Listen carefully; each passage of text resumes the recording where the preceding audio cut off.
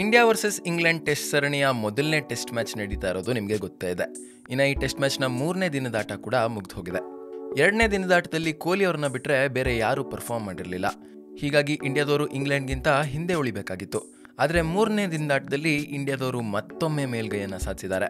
ಹೌದು, ಇಂಡಿಯಾದವರು ಈ ಟೆಸ್ಟ್ ಮ್ಯಾಚನ್ನು ಗೆಲ್ಲೋ ಚಾನ್ಸಸ್ ತುಂಬಾನೇ ಜಾಸ್ತಿ ಇದೆ. ಮೂರನೇ ದಿನದಾಟ ಸ್ಟಾರ್ಟ್ ಆದಾಗ ಇಂಗ್ಲೆಂಡ್ ಅವರು ಒಂಬತ್ತು ರನ್ನನ್ನು ಗಳಿಸಿ ಒಂದು ವಿಕೆಟ್ ಅನ್ನ ಕಳ್ಕೊಂಡಿದ್ರು. ಅಲೆಸ್ಟರ್ ಕುಕ್ ಡಕ್ಔಟ್ ಆಗಿದ್ರು. ಅದಾದ್ಮೇಲೆ ನಿನ್ನೆ ಫಸ್ಟ್ ಹಾಫ್ ತುಂಬಾ ಇಶಾಂತ್ ಶರ್ಮಾನೇ ಆವರಿಸ್ಕೊಂಡಿದ್ರು.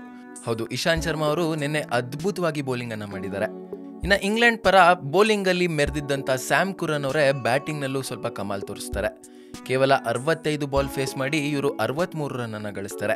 ಇವ್ರ ಇನ್ನಿಂಗ್ಸ್ನಲ್ಲಿ ಒಂಬತ್ತು ಬೌಂಡ್ರಿ ಹಾಗೂ ಎರಡು ಸಿಕ್ಸರ್ ಕೂಡ ಇರುತ್ತೆ. ಇನ್ನ ಇಂಡಿಯಾ ಪರ ರವಿಚಂದ್ರನ್, ಅಶ್ವಿನ್ ಅವರು ಇಪ್ಪತ್ತೊಂದು ಓವರ್ ಬೌಲಿಂಗ್ ಮಾಡಿ ಮೂರು ವಿಕೆಟ್ ಅನ್ನ ತಗೊಂಡ್ರೆ ಇಶಾಂತ್ ಶರ್ಮಾ ಕೇವಲ ಹದಿಮೂರು ಓವರ್ ಮಾಡಿ ಐದು ವಿಕೆಟ್ ಅನ್ನ ಪಡ್ಕೋತಾರೆ. ಈ ಮುಖಾಂತರ ಇಂಡಿಯಾದವರು ಇಂಗ್ಲೆಂಡ್ ಅವ್ರನ್ನ ಕೇವಲ ನೂರ ಎಂಬತ್ತು ರನ್ಗಳಿಗೆ ಆಲ್ ಔಟ್ ಇನ್ನು ಇಂಗ್ಲೆಂಡ್ ಅವರು ಕೊಟ್ಟ ಟಾರ್ಗೆಟ್ ಅನ್ನ ಚೇಸ್ ಮಾಡೋದಕ್ಕೆ ಬಂದಂತ ಇಂಡಿಯಾದವರು ಕೂಡ ಆರಂಭದಲ್ಲಿ ಹೇಳುತ್ತಾರೆ ಮುರಳಿ ವಿಜಯ್, ಶಿಖರ್ ಧವನ್, ಕೆ ಎಲ್ ರಾಹುಲ್ ಎಲ್ಲರೂ ಕೂಡ ಮೊದಲ ಇನ್ನಿಂಗ್ಸ್ ಥರನೇ ನಿರಾಶೆ ಮೂಡಿಸ್ತಾರೆ. ಮುರಳಿ ವಿಜಯ್ ಆರು ರನ್ ಗಳಿಸಿ ಔಟ್ ಆದ್ರೆ ಶಿಖರ್ ಧವನ್ ಹಾಗೂ ಕೆ ಎಲ್ ರಾಹುಲ್ ಅವರು ಇಬ್ರು ಹದಿಮೂರು ರನ್ ಗಳಿಸಿ ಔಟ್ ಆಗ್ತಾರೆ. ಆಗ ತಂಡಕ್ಕೆ ಮತ್ತೊಮ್ಮೆ ಆಸರೆ ಆಗೋದು ಬೇರೆ ಯಾರು ಹೇಳಿ? ಕ್ಯಾಪ್ಟನ್ ವಿರಾಟ್ ಕೊಹ್ಲಿ. ವಿರಾಟ್ ಕೊಹ್ಲಿ ಅವರು ಮೊದಲನೇ ಇನ್ನಿಂಗ್ಸ್ ಅಲ್ಲಿ ಕಂಪ್ಲೀಟ್ ಆಗಿ ಇಂಡಿಯನ್ ಬ್ಯಾಟಿಂಗ್ ಜವಾಬ್ದಾರಿನ ತಗೊಂಡಿದ್ರು. ಇನ್ನು ಎರಡನೇ ಇನ್ನಿಂಗ್ಸ್ ಕೂಡ ಅದೇ ರೀತಿ ಆಗೋ ಹಾಗೆ ಕಾಣಿಸ್ತಾ ಇದೆ. ವಿರಾಟ್ ಕೊಹ್ಲಿ ಅವರು ಈಗ ಸದ್ಯಕ್ಕೆ ಎಪ್ಪತ್ತಾರು ಬಾಲ್ಗಳನ್ನ ಫೇಸ್ ಮಾಡಿ ನಲವತ್ಮೂರು ರನ್ ಗಳಿಸಿ ನಾಟ್ ಔಟ್ ಆಗಿ ಬ್ಯಾಟಿಂಗ್ ಆಡ್ತಾ ಇದ್ದಾರೆ.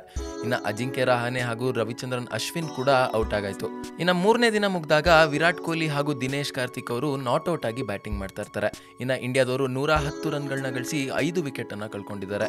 ಇನ್ನು ಗೆಲ್ಲೋದಕ್ಕೆ ಇಂಡಿಯಾದವರಿಗೆ ಕೇವಲ ಎಂಬತ್ನಾಲ್ಕು ರನ್ಗಳ ಅವಶ್ಯಕತೆ ಇದೆ.